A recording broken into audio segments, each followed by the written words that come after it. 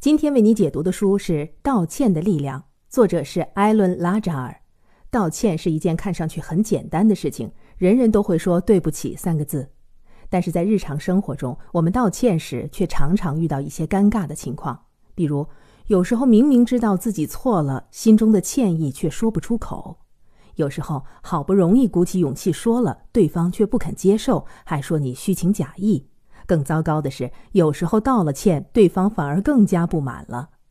所以你看，道歉这件事说起来容易，但想要达到预期的效果，实际上有很多需要讲究的地方。《道歉的力量》就是一本教我们如何正确道歉的书。作者艾伦·拉扎尔告诉我们，道歉只要用对方法，不仅能够解决纷争，还能为自己带来很多额外的好处。这本书从心理学、社会学等角度讲述了道歉的意义和方法，举了很多历史上和生活中真实的道歉案例，帮助我们深入理解和运用道歉的力量。如今，关于道歉的研究已经发展成为一门学科——道歉学。沃顿商学院、哈佛大学等知名院校都在竞相研究。《道歉的力量》这本书就是道歉学领域的权威著作。曾获得美国出版者协会颁发的心理学专业与学术出版荣誉奖。本书作者艾伦·拉扎尔是美国马萨诸塞大学沃斯特分校的名誉校长兼医学院名誉院长，也是国际知名的道歉学专家。许多国际主流媒体，如《今日心理学》《华盛顿邮报》《华尔街日报》等，都刊登过他的文章。《道歉的力量》这本书是艾伦·拉扎尔的代表作，取材于他十多年来对一千多个道歉事例的研究。好了，介绍完这本书的基本情况和作者信息，下面我就为你来详细说说书中的内容。我将为你解读三部分内容：第一，我们为什么要道歉；第二，如何正确的道歉；第三，道歉需要注意的问题。好，我们先来看看第一部分的内容：我们为什么要道歉？道歉有什么样的好处和作用？首先，道歉是有效化解冲突的最佳手段。这本书一开始，作者就和我们分享了一次亲身经历的家庭小故事。某天晚餐时刻，作者的妻子误会小女儿偷拿了他白天准备的甜点，尽管女儿坚决否认，妻子还是当众训斥了女儿。结果第二天早上，妻子发现原来是自己把甜点忘在了橱柜上。这时，轮到女儿责怪母亲了。直到妻子不断赔礼道歉，女儿才得意地说：“母亲大人，你道歉的样子我可爱看了。”最后，母女和好如初。类似这样的小矛盾，在我们的日常生活中是很常见的。不仅家庭成员之间、同事、朋友之间，甚至陌生人之间，都可能产生各种各样的冲突。如果我们想要挽回糟糕的局面，道歉通常是最有效的办法。根据作者的研究。道歉之所以具备化解冲突、修复关系的力量，是因为它可以满足受害者的多种心理需求，疗愈冲突所造成的创伤。比如，道歉可以使受害者恢复自尊与尊严。无论是受到轻微的轻视或嘲笑，还是严重的攻击，在大多数冒犯行为中，受害者都会感到蒙受羞辱，尊严受到伤害。就像作者的女儿被母亲指责偷窃，在家人面前丢了颜面，还受到了人格上的贬低；而母亲的道歉意味着双方处境的逆转。先前处于强势的母亲愿意放低姿态，承受负面评价，转而争取女儿的谅解；而先前处于弱势的女儿，现在有权利选择是否原谅母亲，也重获了自尊。母女之间的关系重新回到了平等的位置上。道歉还可以满足受害者希望确认错不在自己的心理需求。有时受害者会怀疑自己是否也应该为伤害负责。比如，有些女孩子逛街时被陌生人骚扰，她们可能会困惑：是不是自己看起来太好欺负了？是不是打扮得太显眼了才会引起坏人的注意？也有些人被伤害后会不断地问自己：是不是我哪里的确没做好？是我太玻璃心了吗？如果对方承认了错误，也就明确了不是受害者自己的问题，他们内心自我否定的感觉就会消失。此外，道歉还可以帮助受害者确认人际关系中的安全感。在遭到冒犯后，通常受害者无法确认类似的事会不会再发生。为了避免再次受到伤害，只能时刻提防远离冒犯自己的人。但如果对方真诚的道歉和解释，受害者就有机会了解。他做出这种行为的原因是什么？是有意还是无意的？他对这件事是什么看法？我们是否遵循相同的价值观？以后还会不会有类似的事？等等。如果受害者在道歉中得到的是积极的信号，就能重新和对方建立信任，获得关系中的安全感。除了以上三种需求，道歉还可以满足受害者希望看到对方受到惩罚、希望倾诉自己的痛苦、希望得到补偿等其他需求。这些都比较好理解，我们就不再赘述了。如果没有道歉，受害者的这些心理需求得不到满足，冲突可能会愈演愈烈。就像我们经常在社会新闻中看到的一些伤人事件，常常是从一些微不足道的小争执开始的。而道歉的另一个作用是消除犯错者内心的负面感受。书中讲到，有一位七十一岁的老人写信给一个朋友，为自己六十年前的一次过错道歉。那时他的朋友被一群男孩嘲笑，他不但没有站在朋友这边，反而加入了对方那群男孩。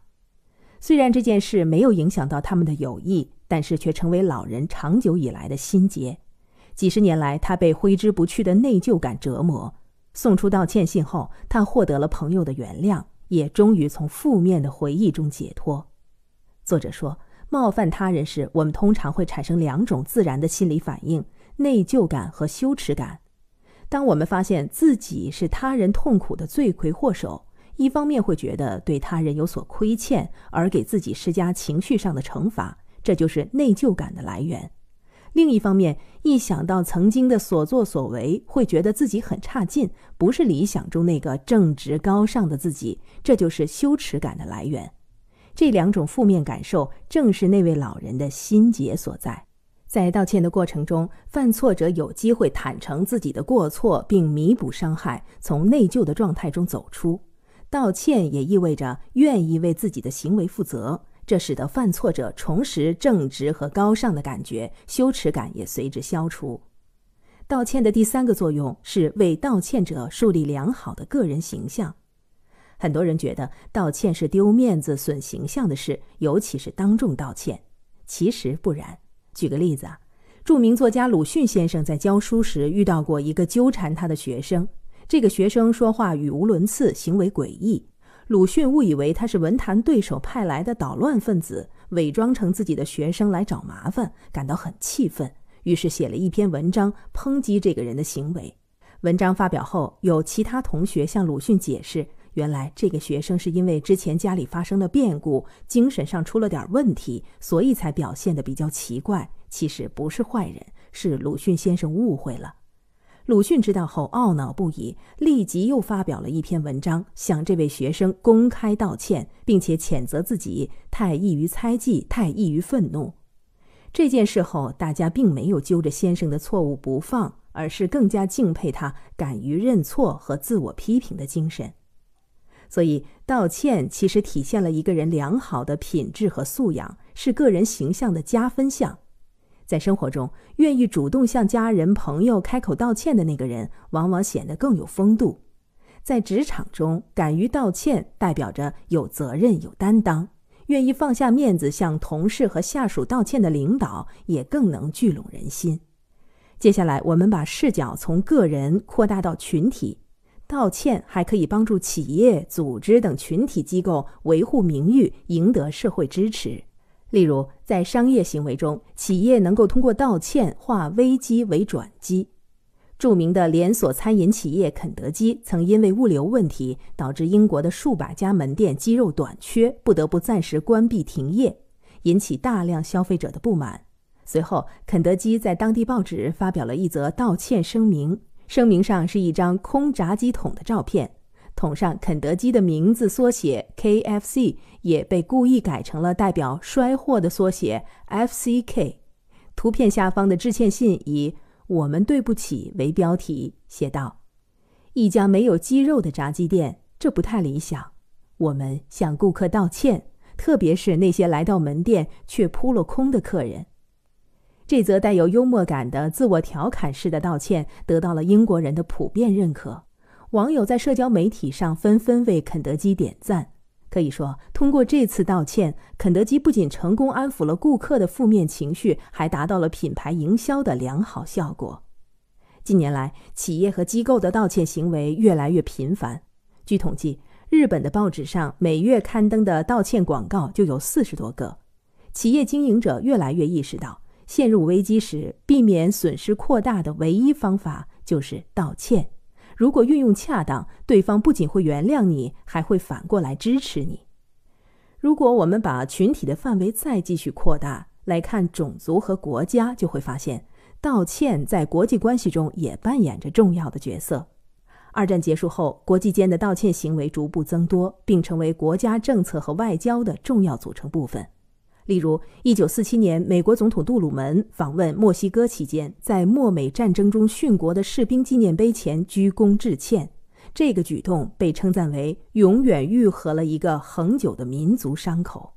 而德国则先后有两位总理亲自到曾被纳粹迫害的犹太人纪念碑下忏悔。在和平年代，因领土、财富、种族差异而产生分歧依然存在，但相比起武力与强权，如今大多数国家更倾向于通过道歉这种更文明的方式来缓解紧张的局势，维系政局的稳定。好了，上面为你讲述的就是第一部分的内容。我们为什么要道歉？我们讲了道歉五个方面的好处和作用。第一，道歉是化解冲突最有效的手段，因为它可以满足受害者的多种心理需求，疗愈创伤。第二，道歉可以消除犯错者内心的内疚感和羞耻感。第三，道歉可以为犯错者的个人形象加分。第四，道歉帮助企业、组织等群体赢得社会支持。第五，对于国家、民族等更大的群体，道歉则有利于维系稳定。所以，无论是作为个体还是群体中的一员，我们都能够从道歉中受益。好，说完了为什么要道歉，咱们接下来说说第二部分的内容：如何正确的道歉。根据作者的研究，有效的道歉必须包含四个要素：认错、自责、解释和补偿。先来看第一个最关键的要素：认错。认错是道歉的基础，它不是简单的说一句“对不起”“抱歉”就完了。认错的行为至少可以分成四个步骤。首先要明确道歉的双方，谁该对谁道歉，并不是所有的冲突一开始就有明显的当事双方。比如，一个企业犯了错误，应该由谁出面道歉呢？这得看情况。如果是无伤大雅的小错，相关的责任人或部门出面道歉即可；但如果是严重的错误，涉及到品牌核心价值，涉及到品牌核心价值，就需要公司高层管理者出面，才能让公众感受到企业对事件的重视。就像苹果公司曾于2013年被控诉在中国的售后服务政策不平等，这是和消费者核心利益相关的严重问题。所以，责任虽然可能主要出在售后部门。但最终是由苹果公司 CEO 库克本人出面进行道歉，并宣布补偿措施，才重新赢回了中国消费者的尊重。明确道歉的对象也很关键。曾有位网络明星在直播中动手打了女友，在随后的公开道歉中，他自称进行了深刻的反省，说自己的行为对公众造成了不良影响，也对所属公司的运营发展造成了损害。他认错的对象是有权影响他职业生涯的公司和公众，唯独没有提到被打的女友。可见他是急于逃避惩罚，出于自己的形象和利益考虑才道的歉。事后呢，网友纷纷指责他毫无诚意，完全忽略了真正的受害者，而其公司也对他做出了解约处理。认错的第二步是要十分明确的说出自己做错了什么事情。比如谈恋爱的时候惹女朋友生气了，男方如果只是不停的说“对不起，我错了”是没有用的，女生往往会问上一句“错哪里了”。这个时候如果回答不上来或者说不清楚，基本上是不会获得原谅的。在说明错误这个环节，任何含糊不清的说辞都会让对方感到缺乏诚意，甚至反感。比如对女朋友说：“我为所做的一切道歉。”不管我做了什么，都是我错了，等等，通常也是不太有效果的。对方会认为你根本没有在认真检讨。正确的做法是把具体的错误行为说清楚，把错在何处说明白。认错的第三步是要了解并承认对受害者造成的伤害。比如，你不小心打碎一个花瓶，你需要知道这个花瓶对它的主人来说有多重要，它具有怎样的价值，然后运用同理心去理解对方的立场，才能够有效的认错。如果无法理解对方受到的伤害，或者对伤害刻意轻描淡写、避重就轻，道歉往往会适得其反。书中提到的一个案例。美国斯波坎社区大学的校报上有次刊登了一封带有种族歧视和性别歧视观点的信件，信中的内容伤害了女性、少数族群和同性恋等群体。虽然报刊声称这么做是为了提高大家对校园内种族主义的认识，实际上并没有达到这样的目的，反而使族群关系更加紧张。更令人气愤的是，之后学生们发现这封信的作者是一个杜撰的人物。信其实是由报社成员自己写的。事后，报社发表了一则失败的致歉公告。公告中说：“对任何可能被这封信冒犯到的人道歉。”也就是说，报社并没有承认捏造带有种族偏见的信息这种行为是错误的，会给他人带来伤害，而是仅仅认为可能有人感到被冒犯，暗示也许是有部分读者玻璃心。这样的道歉让学生们更加愤怒了。作者认为，正确的道歉公告应当包含这样的言辞：“我们为撰写这封带有种族偏见的信表达诚挚的歉意。虽然我们原意是提高校园内种族主义的认识，但用错了方法。我们的行为是具有误导性的。目前，我们正在深刻反思。对于伤害到的这么多人，我们感到非常抱歉。”这样的认错，既明确的解释说明了错在什么地方，也承认了错误所造成的伤害。认错的第四步是承认这种行为违背了公认的社会契约或道德契约。这也意味着犯错者向受害者表示自己和对方信守着同样的价值体系，同样的行为不会再次出现。这是对受害者的一种承诺。例如，书中提到。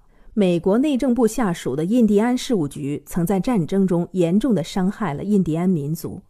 事务局秘书长在公开的道歉演讲中，除了承认历史上的种种罪行，还说道：“事务局的工作深深伤害了原本应致力服务的群体，没有完成阻止毁灭发生的使命。这就是在向对方表达，他们同样持有维护和平的信念和共识。”而事务局曾经的行为的确违背了这样的共识。此外，作者还指出，认错过程中的语气和用词很重要，要避免说出像“既然事情已经发生了”这种事不关己的话，也不要用“如果对谁造成了伤害”这种带有附加条件的措辞。不合适的表达会毁掉一次精心准备的道歉。说完认错，再来说道歉的第二个要素——自责。自责是指。因犯错产生后悔和愧疚，并发自内心的谴责自己，是当事人自我惩罚的一种形式。自责也意味着犯错者愿意承担责任，并愿意在未来克制自己、改过自新。因此，是否表现出真诚的自责，往往是人们决定是否原谅犯错者的重要指标。美国伊利诺伊大学曾做过一项研究，研究者告诉所有参与者。现在有个骑自行车的人撞伤了一个步行的人，在这种情况下，研究者为骑车的人设计了两种道歉方式。第一种是，很抱歉让你受伤了，希望你很快好起来。第二种是，真的很抱歉让你受伤了，这次事故完全是我的责任，是我骑得太快了，没有仔细看路。研究结果表明。有百分之七十三的人都认为，第二种道歉方式充分表露出了悔恨和自责，相比第一种更能够被受伤的一方接受。而道歉的第三个必备要素是提出解释。我们来设想一个场景：在工作中，你没有完成老板交代的任务，这个时候，如果你只是认错和自责，是不是还不足以给上级一个满意的答复呢？通常，我们还需要向领导汇报说明具体是哪些原因造成了现在的后果，是人为因素还是客观因素，未来怎么避免等等细节。解释的作用是让对方了解你的行为是随机的还是刻意的，有什么办法可以预防未来类似错误的发生。包含真实细节的解释有助于获得对方的谅解，而不诚实、不充分的解释则更像是狡辩，会削弱道歉的力量。例如，书中提到，一位美国参议员在某次演讲中侮辱了阿拉伯人，他在随后的道歉中给出的解释是自己说的比想的快。这样敷衍的解释显然靠不住，而且加剧了冒犯的程度。有效道歉的最后一个要素是补偿，在某些道歉中，补偿是非常关键的部分。作者在书中提到一次自己的经历：拉扎尔有一个摄影师朋友，这位朋友在拉扎尔的办公室拍摄取景时，不小心把摄影器材掉落在昂贵的古董灯罩上，把灯罩上的饰品砸碎了。事后，这位朋友再三道歉。但是，当拉扎尔问他灯罩怎么办时，这位朋友却无动于衷，并没有要弥补损失的意思，这让拉扎尔感到非常气愤。正如拉扎尔遇到的这种情况，我们在道歉时，如果有能力补偿造成的伤害，却不愿意这么做，道歉就会失效。补偿都是物质层面的吗？也不一定。对于一些语言上的冒犯，补偿的方式可以是象征性的。例如，请对方喝杯咖啡、吃个饭等等。如果实在想不出什么合适的补偿方式，也可以直接询问对方：“我可以做些什么来弥补一下吗？”好，上面为你讲述的就是本书的第二个部分的内容：如何正确的道歉。我们了解到，有效的道歉有四个必备要素：第一个是认错，这是道歉最重要的基础；第二个是自责。表达对错误行为的后悔，并愿意承担责任。第三个是解释，要说明错误的原因。第四个要素是补偿，方式既可以是物质层面的，也可以是其他象征性的。那么，接下来我们来说说最后一部分的内容：道歉时需要注意的问题。首先，道歉要选择合适的时机。很多人认为道歉应该越快越好，其实不然。不同的情况下，道歉的时机也不相同。有时我们应该先经过一段缓冲的时间再道歉，比如开会时，大家正在一起激烈讨论问题，过程中你不小心在言语上重伤了某个同事，导致对方愤然离场。这时候对方正在气头上，如果你马上跟出去道歉，无异于火上浇油。类似于这样针对个人的严重过失，包括当众羞辱他人、欺骗朋友、背叛他人等等。更合适的做法是给受害者一点时间，等他平静下来再道歉。缓冲的时长因具体情况而异，可能是几个小时，也可能是几天、几周或者更长时间。在这段时间里，受害者有机会发泄情绪、了解情况，并逐渐冷静下来。而犯错者也能更加慎重地考虑道歉的方式，思考相关的补偿措施。有时可能涉事双方都有一定责任，先过渡一段冷静期，有助于大家理性的思考解决方案。而在不是针对个人的错误或者不那么严重的错误发生时，我们需要立即道歉。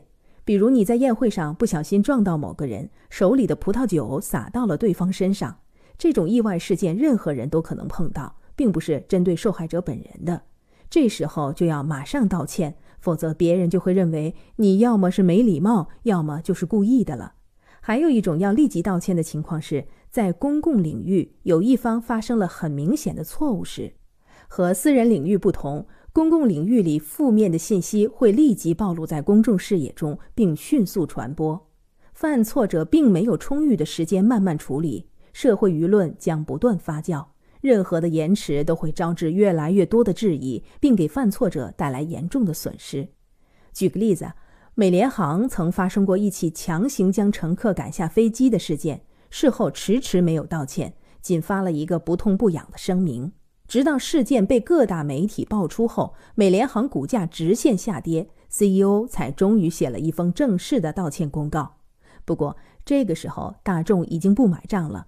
这次失误使得美联航市值蒸发近十亿美元。与之相对的，我们再来看一个道歉及时的案例：著名餐饮企业海底捞曾在2017年被媒体爆出食品安全问题，海底捞当天立即响应，连发三份声明向消费者致歉，表示愿承担经济责任和法律责任，并发布整改措施。这一系列操作很快就逆转了舆论走势，成功维护了品牌形象，被业内人士誉为企业危机公关的典范。除了延后道歉和立即道歉两种情况，还有些情况下，人们预感到后续可能会发生不愉快的事情时，会采取提前道歉的行为。例如，参加会议时，有人要在会议结束前先行离开，那么这时就可以提前知会大家，说声抱歉；或者丈夫晚上有应酬，可能要晚回家，早上上班时，可能就会提前跟妻子打个招呼，说：“对不起啊，亲爱的，晚上不能陪你吃饭了。”所以，道歉的时机要根据具体情况选择。错过了最佳的时机，就会使道歉的效果大打折扣。不过，需要说明的是，如果不幸没能把握住最佳时机，虽然是很可惜的事，但也并不是完全无可挽回。比如刚才提到的，老人为小时候的过错道歉，还有国家领导为过去的战争道歉。有些道歉虽然拖延了几年甚至几十年，但是仍然能发挥一定的作用。所以，道歉是永远不嫌迟的。道歉要注意的第二个问题是，道歉并不代表争端已经结束。作者说，道歉其实是一个双方协商的过程。当事人单方面执行了道歉的动作，并不代表事情已经解决了。相反，道歉仅仅是一个开始。对于很多复杂的冲突，在道歉的过程中和结束后，都会伴随着一系列的协商。双方协商的问题包括。各自要负多少责任？受害者是否有机会表达自己的痛苦？是否要惩罚犯错者？双方能接受的补偿条件等等，和该冲突事件有关的一切都可以作为协商的内容。在许多商业谈判和国际谈判中，经常能看到协商道歉的痕迹。书中提到一个发生在美国和朝鲜之间的案例：一九九四年，一架美国直升机在朝鲜领空坠机，飞行员被朝鲜抓捕。朝鲜政府认为这架飞机在执行间谍任务，要求这位飞行员和美国政府公开承认。